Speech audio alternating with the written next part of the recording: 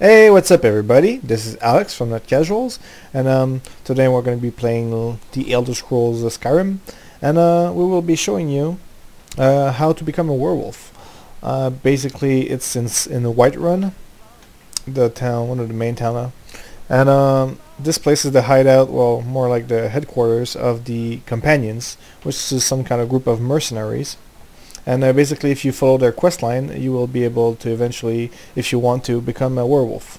Uh, one of the bonus that is not as obvious as becoming a werewolf is you get 100% resistance to diseases. So uh, that's pretty nice. Uh, let's show you some gameplay.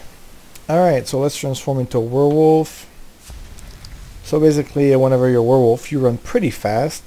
Uh, I think it drains less stamina, but I'm not sure.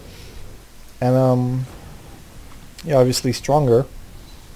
Um, although you have to be careful not to go too close to towns because uh, you might um, make some enemies, you know. People don't expect a werewolf. Ooh, and hi there. Hi there. Ooh, that was an easy kill. And yeah, so yeah, you run pretty fast. Um, you mean to diseases and shit.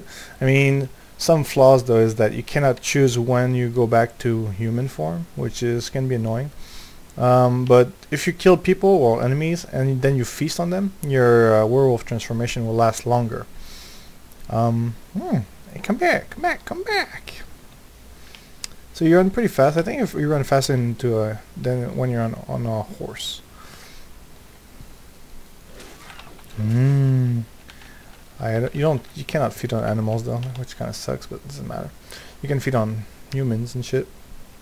So yeah, you run pretty fast. You're pretty strong. Uh, this can be particularly useful whenever you're trying to escape a jail, or um, if you want to kill some guards, I guess. Although you cannot heal yourself. Ooh, stuff to kill. Hmm.